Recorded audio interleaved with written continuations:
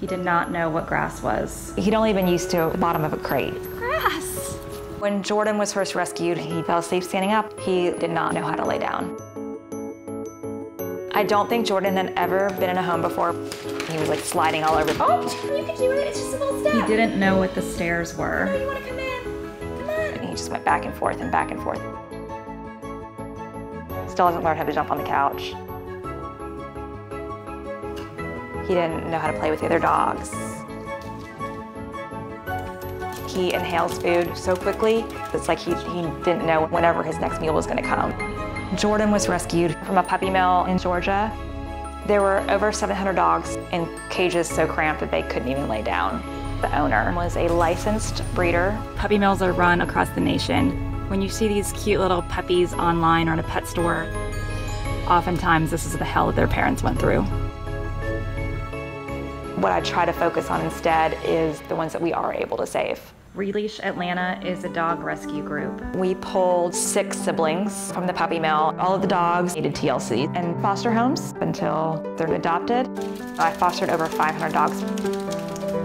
I went and picked Jordan up. He was petrified.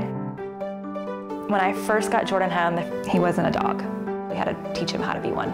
We have to diaper him up he's not even remotely house trained. He's still trying to get used to being picked up, so he kind of like freezes. When Jordan first got here, he had no idea how to take treats from my hands, so he would just lick them. Just keep licking it, licking it, licking it, until finally another dog came and took it.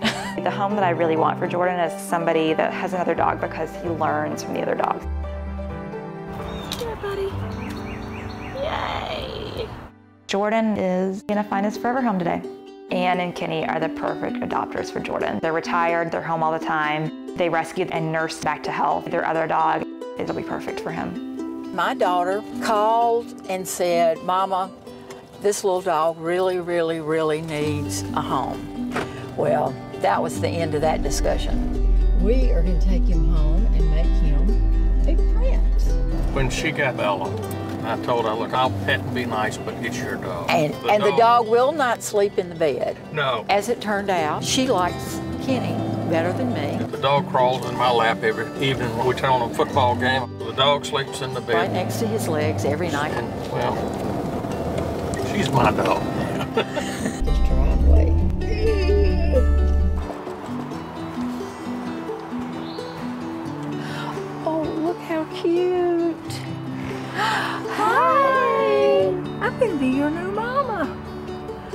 sleep in my bed. Oh boy. And this is Kenny. Gonna sleep in the bed with him too. He's very skittish. Yeah. It's gonna take him a little bit of time. crazy people. I don't know what's going on. It's all right, buddy. It's just gonna take some time and just being good to him. Oh, there's Bella. Your brother. This is your sister. Oh, Bella, you going up the stairs? Oh, oh, oh. Uh-oh. uh-oh. Jordan. Once he goes up, he won't come down because he doesn't know how to come down. It's okay, Bella. Daddy's coming right back. Kenny's one of these, he kind of warms up slowly. Welcome back. Dogs can sense he really isn't as tough as he would like for you to think. I know. He just jumped up. I've never seen. Oh, Jordan. He likes her. I think he's going to be a great fit with Bella. Thank you so much. Congrats, buddy. We hit the jackpot. Oh, bless its heart. Come on, sweetness. Come on.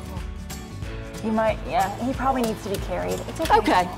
Thanks so much. We're going to Mississippi. Why you call Bella a him and call Jordan a girl? Lord, Lord, this driveway.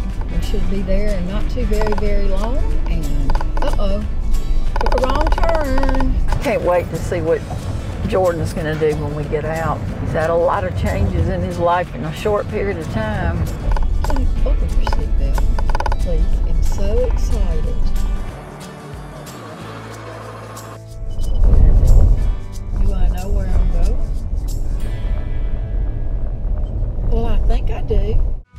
Town where we live, it's in the Mississippi Delta. Jordan can run and rip and do whatever he wants to do. In the fall, we have lots of leaves that he could play with. We have lots of cats in the neighborhood to chase. Yes, dear, thank you. I need all the help I can get when I've been behind the wheel nine hours. I can't wait to see what Jordan's gonna do when we get out. You're home. Come on, sweet pie. I know. It's a new place. Where do you where are you going, Jordan? Going in the front seat? You can get out the front seat if you'd like. Hey, it's okay. I've got you. There. There we go. Bella, show Jordan his new house.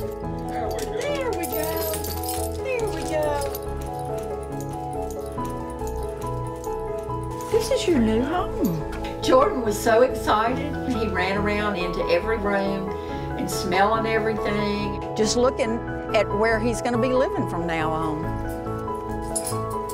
Thank goodness for belly bands. He found the food and the water. I want him to know that that is there every day.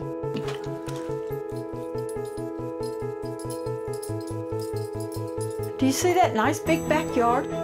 This is going to be your favorite place. Come on.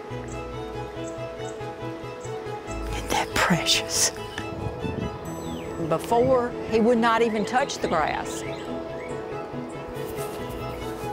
Yay! He just, he, he looks like he's just amazed. Finding out that there's more to life than what he knew. He is acting like a dog. I, you know, maybe he knows this is his new home. It's been about a month. Jordan's come a long, long way. Now he loves to go outside. ups and downs, feeling glad that it's come. Once we got home, it was like, okay, this is your home too. We all wanna be happy, find ourselves a family. He seems to like my grandchildren. As long as you rub him, he will be there. Jordan has his own bed. He no longer has to stand up to sleep. He loves his bed. We all wanna be happy, find ourselves a family. He probably has a lot of time to make up laying down. He can lay down every day, all day, if that's what he wants to do. Jordan is the new member of our family. If you just show the least bit of love to Jordan, you're going to get back 50 fold in return. The big picture hope for Jordan is just that he feels loved. You know, all animals want you to do is love them. We all wanna be happy, find ourselves a family. We all wish to find our way through the mist of love and play.